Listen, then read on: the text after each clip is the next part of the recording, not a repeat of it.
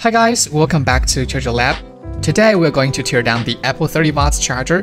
Maybe you have seen the teardown of Apple 96 watts and 20 watts USB-C power adapter in our channel. If you haven't, you can click the right corner to see it. This 30 watts charger was taken out from the packaging of Apple's new MacBook Air with M1 chip. Now let's see what looks like inside. I don't think the charger's appearance needs introduction anymore, just the familiar Apple style. But there is an Apple logo in the middle. The plug is still replaceable. The metal button can be connected to the ground wire. That's because Apple needs to adapt to the global market. Some regions require the charger to connect to the ground wire. This is why Apple does this. So you just need to change the plug when you go abroad. The port and its plastic insertion inside is still white, which maintain the color of the charger shell. Let's see the specification here. Model is A2164. It supports wide voltage input of 100 volts to 240 volts and PD output of 20 volts 1.5 amp, 15 volts 2 amp, 9 volts 3 amp, 5 volts 3 amp. The manufacturer is Flextronics. It has passed 3C KC CE certification. And then let's look at the size. The length, width, and height are 55mm, 55mm, and 28mm. The weight is 99 grams. Using ChargerLab POWER-Z KT002 to test its performance, it only supports PD protocol, and we can only see 4 fixed PDOs of 5 volts 3 amp, 9 volts 3 amp, 15 volts 2 amp, and 20 volts 1.5 amp. Directly use the cutting machine to take apart the shell,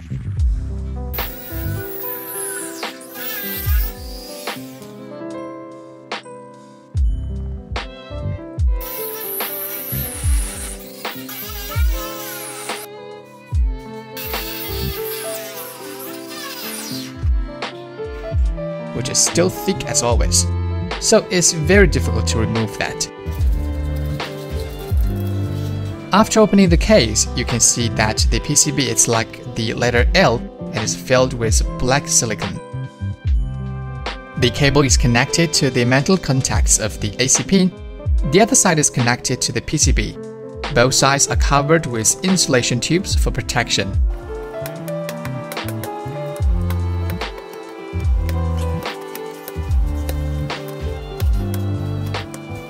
There is black plastic on the front of the PCB, used to isolate the primary and secondary circuits. It can also fix components such as transformers and capacitors. The bundling between the primary and secondary circuit on the back of the PCB is obvious. The charger adopts the typical architecture, which uses the switching power supply for wide range output and the secondary protocol chip to control output voltage. And then let's analyze the components one by one. There is a plastic support frame at the input end. Common mode choke is placed in the hollowed part, used to filter EMI interference.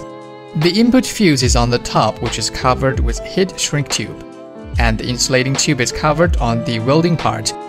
This is the rectifier bridge of input. Here is the 221 filter inductor, and a chip is on its back marked with PJT. There are two electrolytic capacitors for high voltage filtering on the left side of the transformer, which are covered with insulating tape. One of them is placed horizontally on the plastic. The transformer comes from Smida. The capacitor comes from Taiwan Lelon. Specification is 400 volts 39 microfarad. The other one is 400 volts 50 microfarad from Aishi. The Aishi PWM power supply capacitor is also wrapped with insulating tape. Specification is 25 volts, 47 microfarad.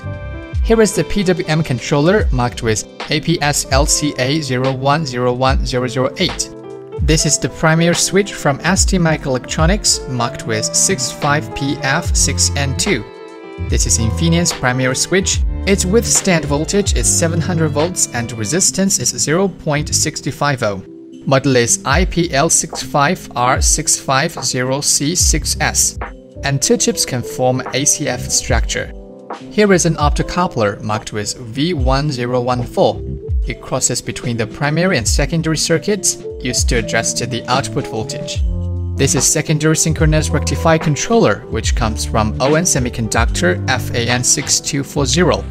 This is a synchronous rectifier chip marked with S10L. The USB-C receptacle port is connected to the PCB by a flat cable, and the end is spot welded. There are two secondary output filter capacitors in here. The first one is 25 volts, 220 microfarad. The other one is 25 volts, 470 microfarad from Aishi.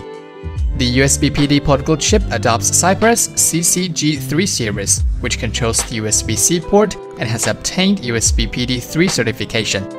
The VBus switch tube of output adopts Alpha and Omega Semiconductor AON7428, withstand voltage is 30 volts.